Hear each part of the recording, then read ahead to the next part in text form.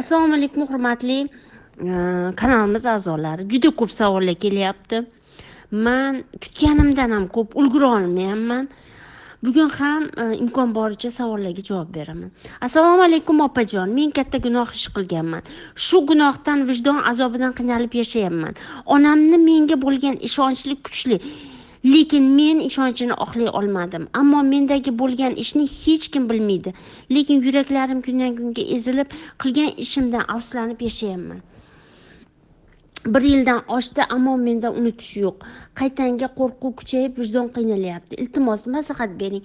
Qanday harakat qilsam shu tushkunlikdan chiqaman. Ayol kishiman. Sizni kanalingizni bitta opam hozir tavsiya qiluvdi. Ulandim savolim javobsiz qolmasa xursand bo'lardim. Katta rahmat sog' bo'ling. Endi insonni ichida uchta o'zlik yashaydi. Birinchisi bola xoliman xohlamayman degan ichki ichki o'zligingiz. Ikkinchisi bu sizni meningiz qarorlaringiz. Va uchinchisi ota ona ana shu ota ona bu yoshlikdan sizga berilgan tarbiya. Ustozlaringiz tarbiyasi ota onangiz tarbiyasi diniy mansubligingiz tarbiyasi jamiyat tarbiyasi bilimlaringiz hayotda o'z qadrlagan qadriyatlaringizni tarbiyasi bu ota ona endi ota ona bolani urib urib urib urishib urishib qo'ysa bu degani bu degani sizni vijdoningiz uyg'onadi degani siz o'zingizni ayblaysiz degan siz o'zingizdan o'zingiz xafa bo'lib ketasiz qadriyatingizga qarshi borganingizga ota onangizga jamiyatga diningizga qarshi borganingizga xafa bo'lib ketasiz. Nima qilish kerak? Mana shu joyda sizni meningiz uyg'onishi kerak. Nima bo'ldi?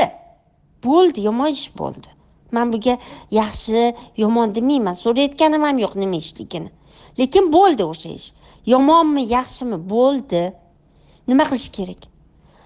Ha endi sotib olish mumkin sotib olish mumkin. Xuddi o'shanaqa e, o'sha e, e, voqeani yechish mumkin. Kimgadir yaxshilik qilsangiz qilgan gunohlaringiz o'rni yopiladi. Men boshqa bu ishni qilmayman desangiz siz o'zgarasiz. Yechim topiladi. Yechim topilmaydigan narsani o'zi yo'q. Onangizga ayting o'rtoqlaringizga bildiring psixologga boring. Yana bir narsa demayman. Man bitta narsani aytaman. Meningizga qayting. Men ya'ni nima? Yengaman yechaman. Qanaqa qilib? Man bilmayman. Man voqeani tafsilotini bilsam aytgan bo'lardim. Mamda yechasiz deb. Lekin bitta narsani bilaman. Olloh sizga qanaqa taqdir yozadi yechimini ham yozadi. Dard dard bu azon. Mana azon aytilganda namoz o'qiymiz. Ertalab tur namozingni o'qi deb azon aytiladi. Dard ham qalbni namozi. Dard kelganda siz onani meni e, ovqatni e, e, pulni o'ylamaysiz dard kelganda bitta yagona ollohni o'ylaysiz. Mana shu dardingiz bor ekan. Nima bo'ladi? Siz yechasiz. Dard keldimi siz ich ichingizdan afsusdasiz. Ammo afsusga qarab e, vijdonga e, qarab o'zini ayblab yig'lab o'tirib bo'lmaydi. Oldinga harakat. Qanaqa holatga tushib qanaqa katta xato qilganingizdan qat'iy nazar bitta narsani biling.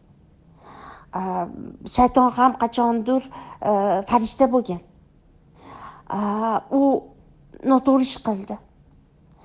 Siz yana o'zligingizga qayta olasiz undan farqli o'laroq. U shayton farishtaligiga qaytmasligi mumkin ammo siz qayta olasiz. Qanaqa qilib? Qaramang orqaga. Afsus qildingizmi tavba qiling. Boshqa qilmayman deng. Xato qildingizmi gunoh qildingizmi? Beayb parvardigor. Oqlamayman sizni. Ayblamayman sizni. Faktni qabul qiling. Oldinga harakat. Onangizga ayting e, tushuntiring demayman. Bitta narsa oldinga harakat. Yechasiz yengasiz qanaqa qilib bilmayman. Shuni bilaymanki bor yo'l yo'l bor. Dard kelganda har doim dard kelganda yo'li bu namoz. Ya'ni dard kelganda ichki qalb og'riydi. Ana shu og'riq kelganda astoydil yo'q boshqa bunaqa ish qilmayman deysiz mana shuni o'zi to'g'ri yo'l. Qaramang orqaga oldinga faqat. Albatta yaxshilik bo'ling albatta yaxshilik qiling albatta e, boshqa bu ishga qaytmang tavba qiling. Eplolasiz men eplolaman deb javobgarlikni bo'yningizga oling. Yechim topasiz.